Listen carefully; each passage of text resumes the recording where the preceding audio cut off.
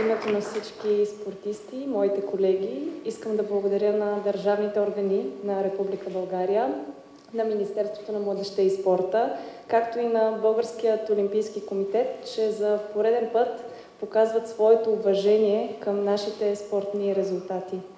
Искам да благодаря специално на нашите треньори, на хората, които ни отгледаха като свои деца, защото без вас никога нямаше да стигнем толкова високо. Специално благодаря на всеки един треньор тук днес.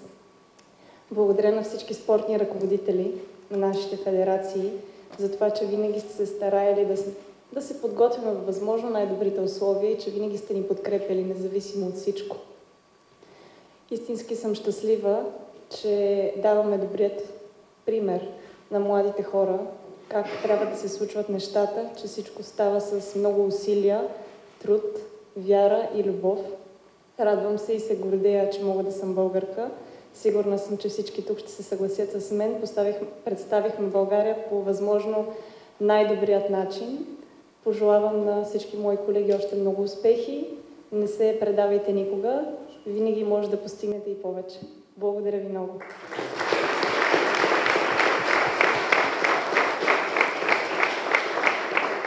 Пожелавам на всеки един премьер в края на единия си мандат да присъства на Олимпийски игри, толкова успешни при това Олимпийски игри и в началото на другия пък да посрещне героите от тези Олимпийски игри, тъй като всички вие за, за България сте, сте герои.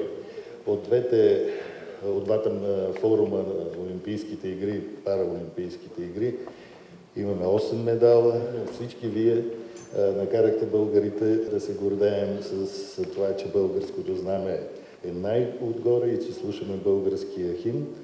Разбира се, че огромен принос имат и треньорите, и ръководителите ви, за да ви мотивират екипите ви, за да ви мотивират за това, което, което постигнахте. От мен остава единствено да ви пожелая да бъдете живи и здрави. Аз съм сигурен, че успехите ще продължат. Това е, това е правилният път.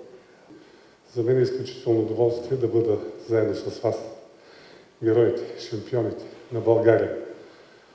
През последните два месеца ни изпълнихте с гордост и радост. Накарахте да се чувстваме щастливи. Искам да ви благодаря за вашите усилия, за вашия дух, който имахте и постигнахте тия забележителни резултати на Олимпийските и Параолимпийските игри в Париж тази година. За мен това са най-силните Олимпийски игри в новия век. Вие доказахте, че сте много силни българи, че сте много талантливи, че сте много амбициозни. Той е дълъг олимпийски цикъл, за който се готвите, даде своите плодове.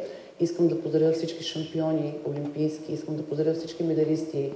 Искам да кажа на хората, на колегите, които не успяха да постигнат желаното, че човек, когато губи, не знае какво печели.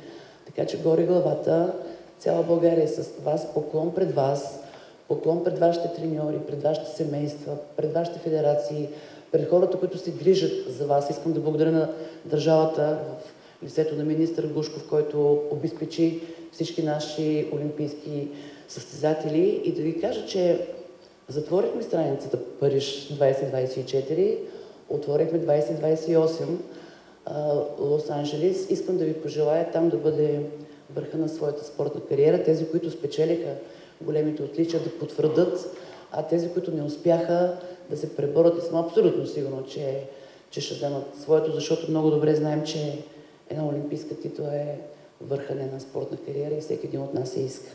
Поклон пред вас, бъдете ми живи и здрави и цяла България ви стиска палци. Благодаря.